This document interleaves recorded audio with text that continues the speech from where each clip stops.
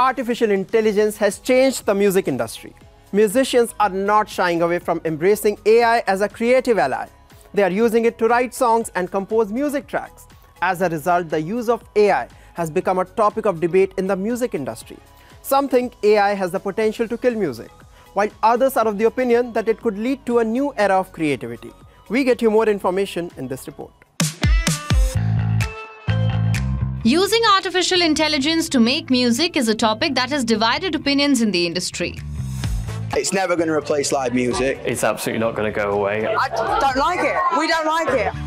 Thanks to recent groundbreaking technological advances, generative AI can already produce original sounds, lyrics, or entire songs on its own.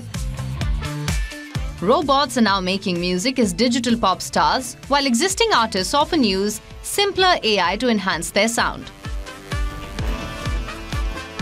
As technology continues to develop, the question remains will AI mean the death of original music or herald a new era of creativity? This is a studio in London's Queen Mary University. This is one such place where music meets cutting edge technology. PhD student Max Graf showcases Netz, a virtual instrument played by wearing an augmented reality headset which tracks hand movements to create corresponding outputs like notes or chords. Andre Martelloni, on the other hand, fiddles with Hitar, an advanced guitar with AI sensors which reads movements to make drum and synthesizer sounds. The way it works is that it's got a little bit of uh, like a simple artificial intelligence that tracks whether you're coming down with a heel or you're coming down with the fingers, and it's consistent all across the body.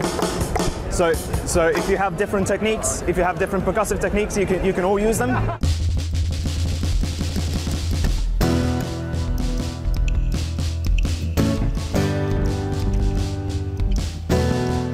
While artists have used technology for creative purposes since the 1950s, the use of AI like Netz and the Hitar could be the newest tools to experiment with music.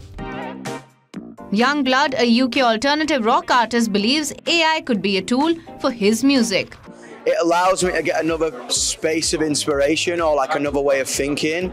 I think when I, it's never going to replace live music, I think, and um, that's mainly the way I lead from. So like, I'll use it in a scenario where I'll be able to take a beat off a off a track, or I'll be able to pull a guitar line off a track to take me to another direction.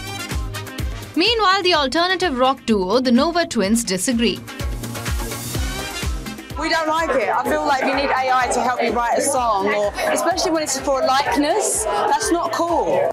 Last year, thanks to the power of artificial intelligence, fans got to enjoy one more Beatles song featuring the voice of John Lennon, extrapolated with AI from an old recording.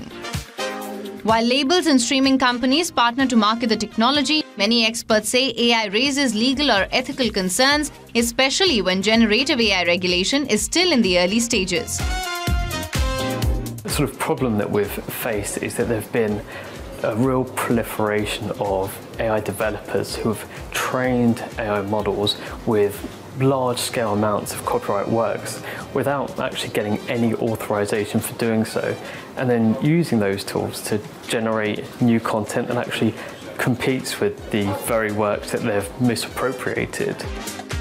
So what does the future look like for AI in the music industry? Its place in the music production chain, again, if it's guided in, in, in the right way and uh, if we ensure that the, the, the, musicians keep, keep a certain amount of, of control and performers as well. Cutting edge tools are revolutionizing the music industry. With AI powered software and tools, musicians and producers can now compose and mix music like never before.